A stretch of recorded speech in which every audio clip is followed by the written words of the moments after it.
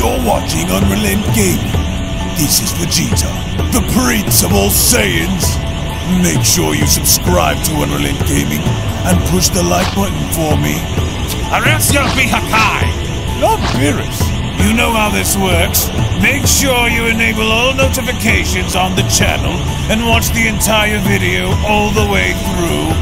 And don't forget to follow UnrealEnt Gaming on both Instagram and Twitter. That's enough!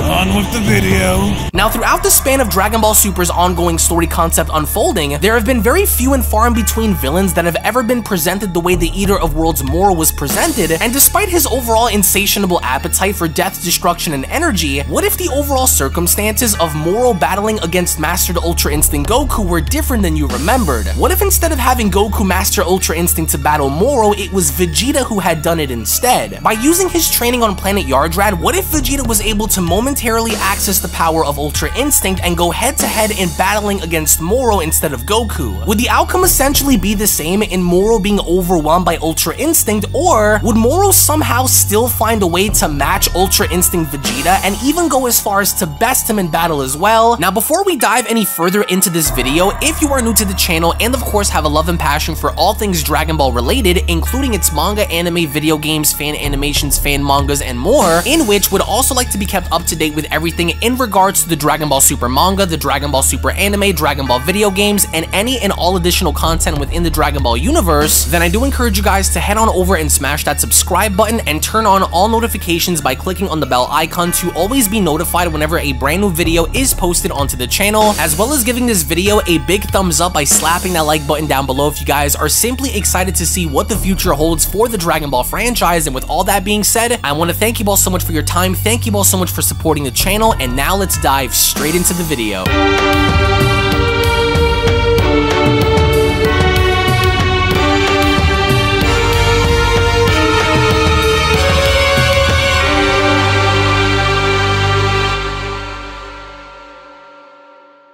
As our story opens up with Goku being shown getting choked by Moro 7-3 following the events of their initial battle, with all of our heroes seemingly in danger as Moro now appears to be in control of the situation as Moro went on to tell Goku, naturally, you have reached the limits of your power as I said you would. With that said, I commend you on your efforts for lasting this long against me in battle. But this is where your story reaches its end, Moro says. Before you fade into the afterlife, however, there is something I want you to know before you die, Saiyan. When this is all said and done and your soul exits this world, I will not only go on to consume all of your power, but I will also consume the power of your pathetic friends as well.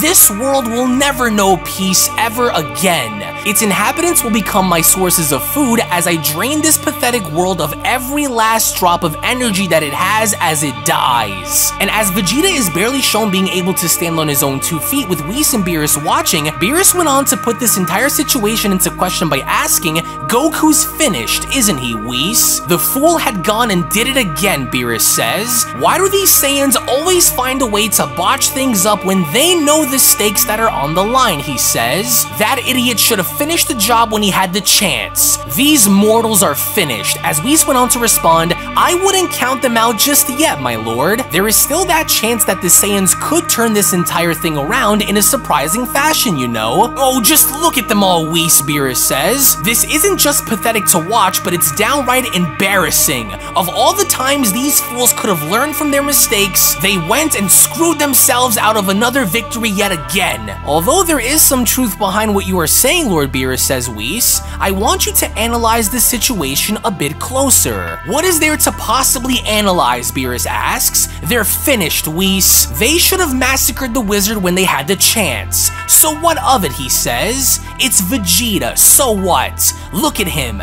He could barely walk forward, let alone fight. What a waste of time, Beerus says. These mortals should have known better, but they never want to listen. You may not realize this yet, my lord, but I want you to take an even closer look, Whis says. Vegeta has obtained a new level of power and he doesn't even realize it himself either. Something very special is about to happen, Whis says. Even if it's within the moment, I can just feel it. And if mastered and done correctly, then we may just in fact witness something truly remarkable, he says. But it will be up to him. Now watch and see, as Beerus went on to respond, what new level of power? I don't sense anything different coming from Vegeta Whis. To think that such a lowly life form could obtain such power disgusts me, Moro says. Surprising to say the least, but undeserving. Weakening my opponents and strengthening myself in the process are only fortunate side effects of what makes me superior to you. You and your friends were but a stepping stone, Son Goku. Now to finish what should have ended a long time ago. And with Moro planning on doing exactly that, right before he actually went on to finish Goku, out of nowhere, there was a massive energy eruption that went on to catch Moro's attention as Moro went on to respond that energy. What is this power that I am sensing?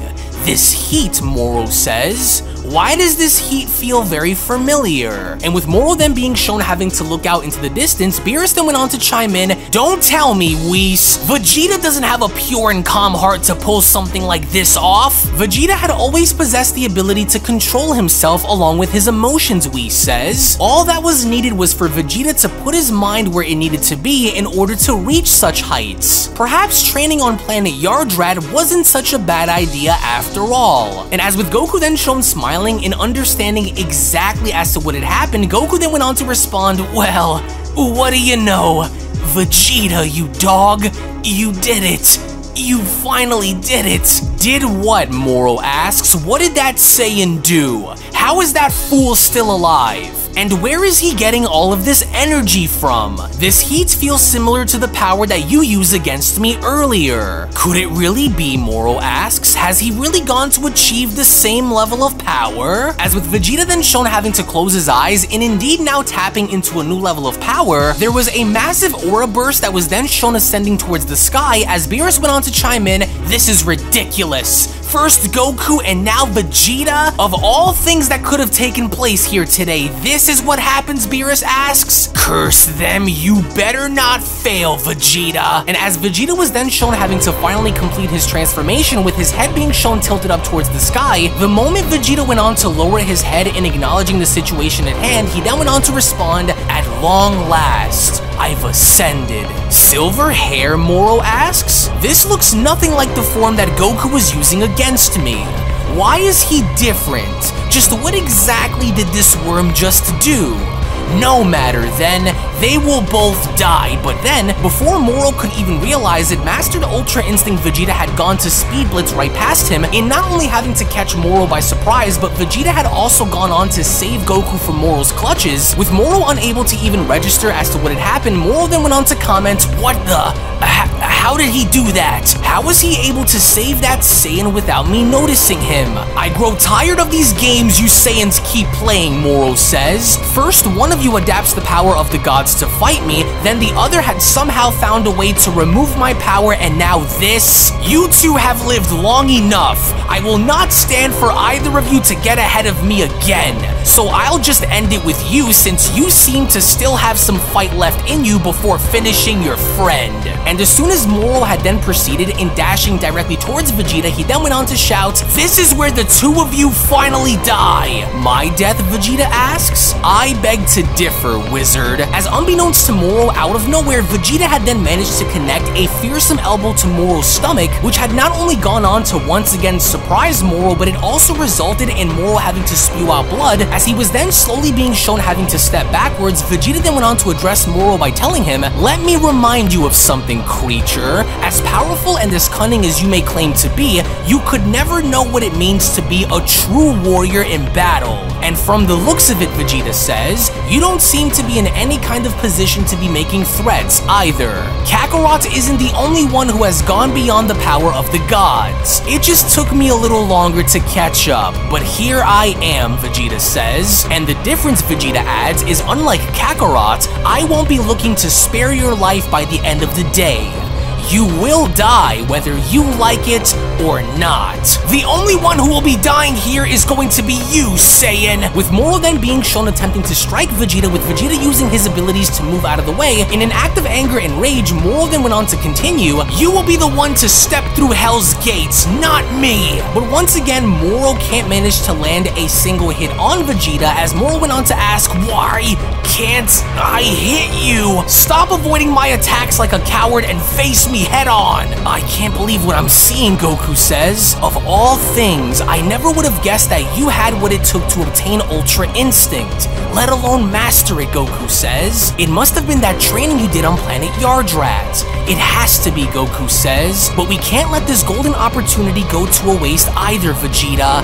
Please, finish him once and for all. This Moro creature can't seem to land an attack on Vegeta anymore, Whis. It appears as though the tides in this battle have changed, but tell me, Beerus says, what is the difference between Vegeta and Goku now? With Whis responding, well, from what it looks like, the difference between them is Vegeta still seems to be fighting with aggression while Goku's method of combat is more tactical, my lord. Having Vegeta go to Yardrat and learn to control his spirit has definitely helped his chances in acquiring Ultra Instinct without much pushback. He still appears to be struggling within, but there is no doubt that if Vegeta keeps this aggression up against Moro, then he will win. But we will see, Whis says, and as soon as Vegeta was then shown grabbing onto Moro's punch, he then went on to tell him, You've been allowed to run amok in this universe unchecked for too long, and today is going to be the day where you are checked, wizard. And as Vegeta was then shown connecting a brutal kick to Moro's stomach, which ultimately resulted in Moro's body being shown flying through the distance, Beerus then went on to add, Vegeta better not botch this one up,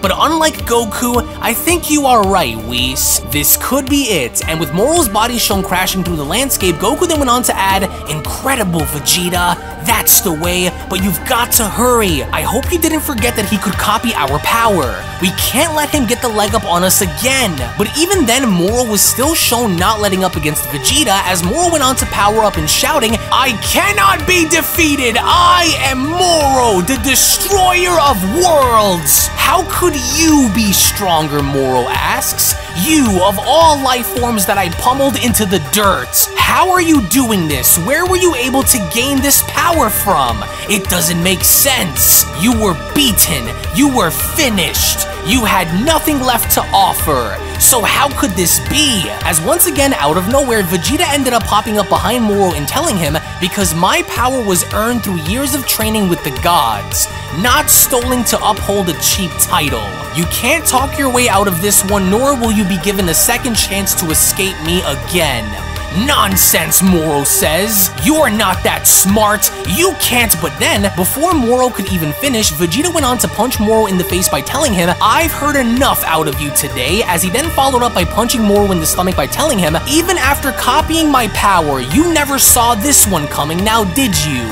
You failed. But even then, despite having to be completely outclassed by Mastered Ultra Instinct Vegeta, Moro still attempted to attack Vegeta anyway, in which as he did, he then went on to ask, What are you talking about, Worm? You've yet to succeed, so how could I possibly fail against you? This power has gotten to your head, Moro adds. You've lost your mind, Saiyan. I have seen and conquered many worlds long before your existence, and I've conquered both mortal warriors and gods alike. This power you've obtained will not save you from death. You will die, and this time I will make sure that you never come back and oppose me again. But as soon as Vegeta had proceeded to grab onto Moro's punch, he then went on to ask him, I wonder who you're trying to convince here. Are you trying to convince me, or are you trying to convince yourself? And as soon as Vegeta had gone to headbutt Moro in the face, he then continues, You're desperate because you know you can't match me. Instead of mocking me when you had the chance, you should have killed me when you did. And to that, Vegeta adds, I will make sure that you never embarrass me like that ever again, wizard. And with Vegeta being shown having to not let up, in uppercutting Moro in the sky, he then went on to continue, You have crossed and made a fool of me for the last time. You had us beat several times, Vegeta adds. You should have ended us when you did instead of giving us the chance to become this powerful against you. This is going to be one mistake, Moro, that you will never live to regret. And as soon as Vegeta ends up following Moro up in the sky, Goku seems to be a tad bit nervous but also confident in Vegeta's abilities as Goku went on to mumble, This is not the way, Vegeta. If you're going to end him, do it now. Don't just punish him like this. Please hurry, Goku says. This is riskier than it seems. We can't lose. As the moment Vegeta was then shown having to double axe handle Moro across the back and onto the floor, he then went on to tell him, Scum like you should never be allowed to be given the chance to live. This is for all of the innocent people you've killed for you to call yourself the strongest. As the second Moro's body had then went on to hit the ground below, Goku then went on to shout, It's all or nothing, Vegeta! You've got him right where you need him to be. We can't risk making the same mistake like we did before. Do it, Vegeta! Finish this so we can all go home! Here's something you might remember, Vegeta says, only this time, it won't be something that you will be able to walk away from laughing. What was it you had said? That this was just an ordinary energy attack, was it? Well then, allow me to scale it up a few notches for you so you can get a better idea of how powerful this attack truly is. And with Moro then being shown lying on the ground within a crater, helpless to do anything to defend himself, Moro at that point knew exactly what was going to happen as Moro went on to comment, This cannot possibly be happening! I am the mightiest in the universe! What is he? Wait, wait, Moro shouts. Hold on, Saiyan!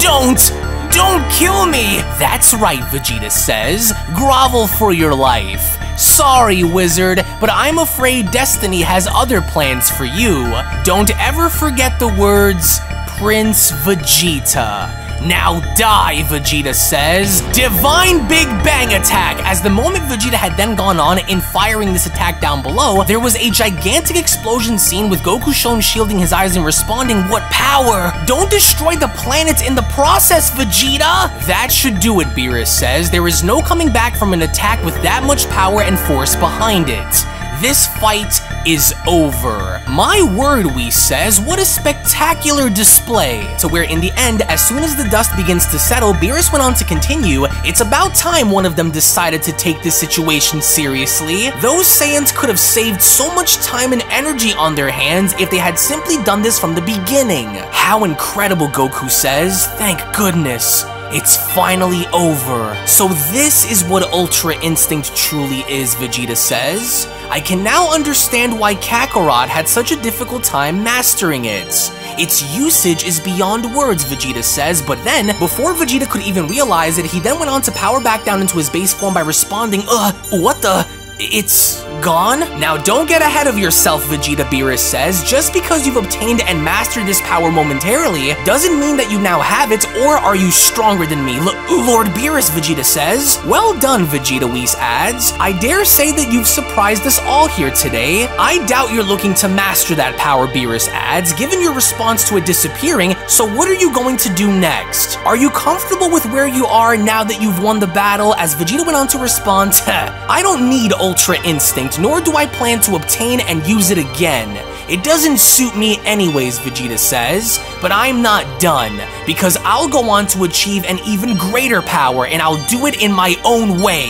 Kakarot can have his Ultra Instinct for all I care, because I'll find a way to master a level even stronger. As it was only then during that moment where the Beyond Dragon Ball Super story of Mastered Ultra Instinct Vegeta vs. Moro 7-3 manga chapter special then comes to a close. Now, can you imagine how different things would have actually had been like to see Vegeta actually hone his spirit enough in being able to calm his heart to such an extent in not only going as far as to obtain Ultra Instinct, but also mastering it within the moment, which then gave Vegeta leverage in doing what Goku couldn't, and that was finally having to finish off Moro for good, to where at the end of the day, I still stand behind the idea that this kind of should have been Vegeta's victory in the Dragon Ball Super manga to begin with, because to see Vegeta only go to planet Yardrat and being able to A, learn instant transmission, B, hone his spirit to such an extent, and C, learn for Spirit Fission, do I think it wasn't enough to serve the character any justice going into the fight with Moro coming back? Because after Moro had gone to eat 7-3 and then becoming Moro 7-3 after having to previously lose to Vegeta, Vegeta really didn't do anything nor did he make a difference after having to fight Moro 7-3, but what I want to know from you guys down in the comment section below is let's just say if Vegeta did to some extent master Ultra Instinct even within the moment, then what do you think the end result of the fight with Moro Moro73 would have been like, and from that point moving forward, would Vegeta ultimately be able to tap back into this power, or would this have been a one and done deal only because of the fact that he served his purpose coming back from Yardrat in maintaining his emotions and calming his heart within the moments to only get the better of Moro? Which I also want to remind you guys, in case you guys are unaware, we also have an Ultra Ego Vegeta versus Mastered Ultra Instinct Moro fan manga on the channel, in which not only does that series portray a different set of events happening within the Moro arc, but the difference between the two stories is here we have MUI Vegeta versus a standard Moro, whereas in the other manga, we portray a different set of circumstances to where it's Mastered Ultra Instinct Moro versus Ultra Ego Vegeta. So again, I want to thank you all so much for watching, and I do want to thank you all so much for your time, and let me know down in the comment section below if we should either remaster this very story and turn it into a series in a different way, or if there are any other Moro or Vegeta stories that you guys want us to tell, then be sure to go ahead and drop your ideas and suggestions down in the comment section below. Again, thank you all so much for watching. Thank you all so very much for your time. As always, if you guys enjoyed the video and cannot wait to see more, then be sure to go ahead and smash that like button down below by giving this video a big fat thumbs up, as well as also smashing that subscribe button if you guys love Dragon Ball and anime and want to be up to date with more, as well as also clicking on the bell icon that way you guys never miss a single video posted onto the channel. Tune back in for more. Thank you all so much for being here, and I'll be seeing each and every single one of you down the comment section below and in the next video. Take it easy, guys, and have a great day. Peace! Hello! Did you know that you can stay up to date with the latest Dragon Ball content by simply subscribing to UnrealEnt Gaming? Also, don't forget to follow on these social media platforms, you sexy son of a bitch. Roshi, Silent Cell, me and the fans are having a moment. That's right. I know what you want. Extra long, thick Dragon Ball content. Quality reviews with flawless editing. Yeah. Yeah, you'd like that, wouldn't you? You dirty bitch. Roshi, the fuck? God damn it, I need them to subscribe, Cell. And we're demonetized. Yeah, screw it. Let's cut to the video.